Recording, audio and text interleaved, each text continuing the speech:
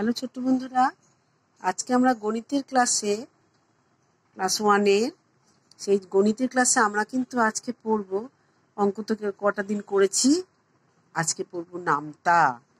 তোমরা নামতা KG two এতে নয়, দশ পর্যন্ত তোমরা পড়ে এসেছ, তাই জন্য আমরা এবারে এগারো থেকে পড়া শুরু করব। দেখো, খুব ভালো করে দেখো, আমি খুব কাছে নিয়ে যাচ্ছি। এগারো নামতাটা না একদম সোজা। এগারো কে এগারো? এগারো দুগুণে বাইশ, তিন এগারো তেত্রিশ, চার এগারো চুয়াল্লিশ, পাঁচ এগারো পঞ্চান্ন, ছয় এগারো ছেষট্টি, সাত এগারো সাতাত্তর, আট এগারো অষ্টআশি, নয় এগারো নিরানব্বই, দশ এগারো একশো দশ। আবার দেখো নামতাটাতে আসছি, দেখো। এগারো কে এগারো মানে দুটো এক লিখবে। এগারো দুগুণে বাইশ মানে দুটো দুই লিখবে। তিন এগারো তেত্রিশ, দুটো তিন লিখবে।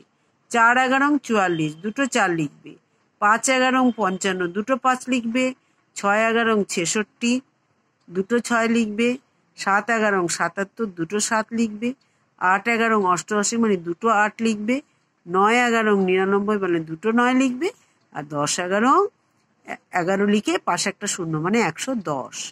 দেখো, একদম এগারো নাম্বারটা থেকে একদম সোজা। তোমরা সহজ, পারবেই। এবার দেখো আমরা বারোর ঘরে নামতাতে আসছি। খুব ভালো করে দেখে নাও। বারো কে বারো বারো দুগুণে চব্বিশ, তিন বারং ছত্রিশ, চার বারং আটচল্লিশ, পাঁচ বারং ষাট, ছয় বারং বাহাত্তর, সাত বারং চুরাশি, আট বারং ছিয়ানব্বই, নয় বারং একশো আট, দশ বারং একশো কুড়ি।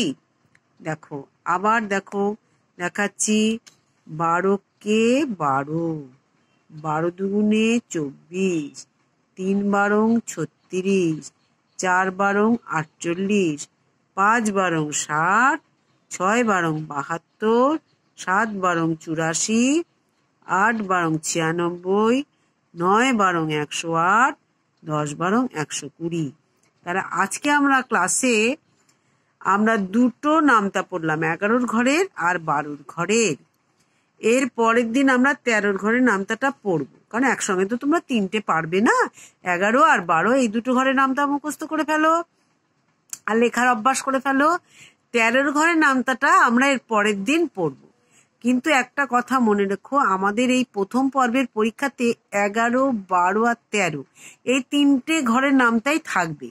ফলে তোমরা যদি আগের থেকে জেনেই গেলে, তোমরা এই তিনটে ঘরের নামটা জলের মতো মুখস্থ করে ফেলো। তার মধ্যে যে কোনো একটা থাকবে।